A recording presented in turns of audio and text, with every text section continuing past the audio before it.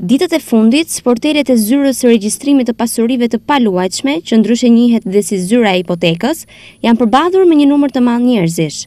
Dyndja ka ardhur për dy arsye, emigrantët që vijnë në Durrës gjatë muajit gusht dhe një defekt në sistemin qendror të të dhënave. Gjatë muajit gusht, dhjetëra e mijëra emigrantë vijnë në vendlindje për të kaluar pushimet, dhe me këtë rast ata duan të bëjnë edhe regjistrimin e pasurive të tyre apo edhe regjistrimin e transaksioneve të tjera. Që para tre vitesh, digjitalizimi i të dhënave të pronësisë ka sjellë përshpejtimin e procedurave, ndërkohë që kryerja e transaksioneve pranë noterëve ka lehtësuar ngarkesën nga sportelet e hipotekës. Tani, pranë këtyre sporteleve kryhen vetëm regjistrimet për herë të parë të pronës dhe regjistrimi i pronave të legalizuara.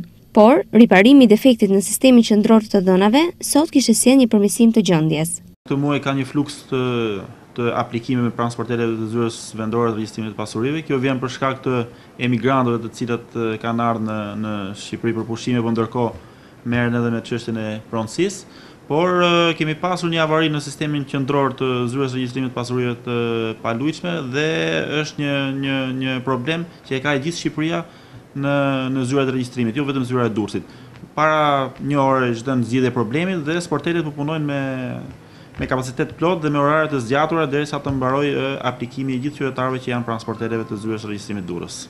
Pjesa më e madhe e emigrantëve vijnë pranë hipotekës për të regjistruar pronat e tyre të legalizuara. Numri i madh i tyre ka sjellë shtim të numrit të aplikimeve në sportele, duke bërë që të zgjatet koha e tyre e qëndrimit.